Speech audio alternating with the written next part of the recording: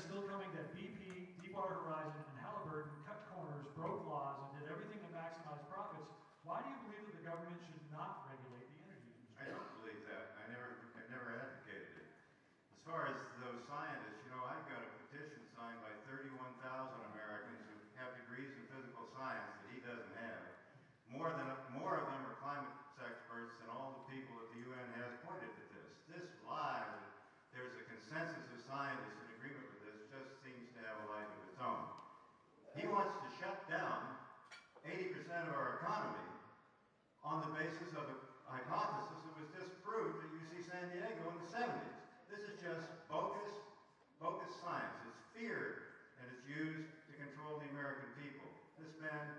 couldn't give you a talk for one minute on climate change science. I could just blow you out of the room amusing you if I showed you Gore's movie and the science beside the cliffs. Okay. Peter, this question is Peter, this question is for you. It's been shown that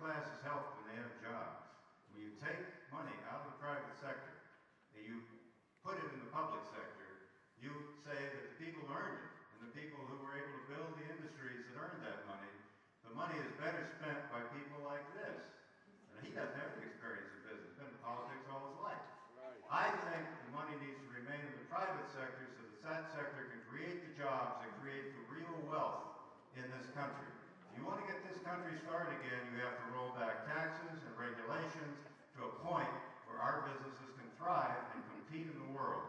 You can't do it by turning money over to career politicians and letting them tell us what to do. That's not the way free enterprise thrives.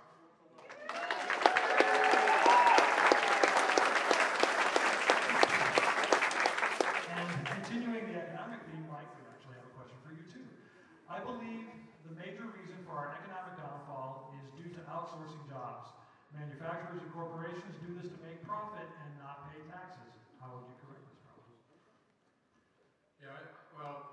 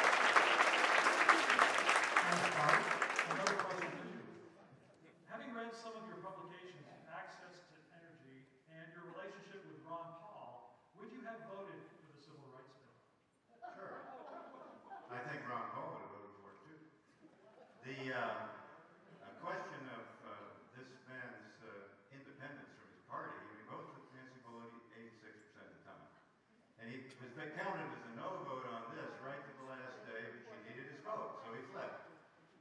The representation that he has been a friend of small government and a friend of business and a friend of industry and a friend of our lumber industry is just a misrepresentation. If he step next door for an hour, I'll show you.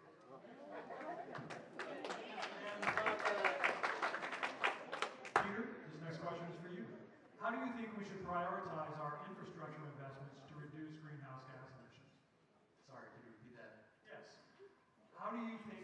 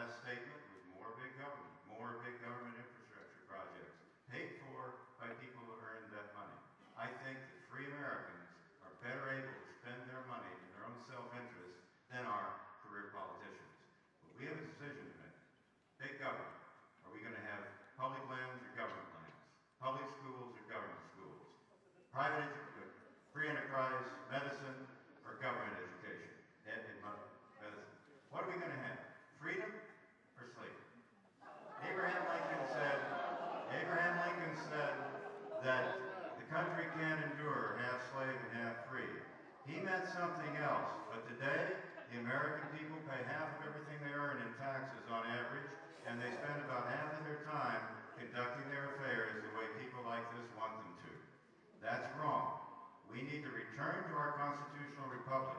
We need politicians who will do that. He was asked on the Bill London show whether this was constitutional.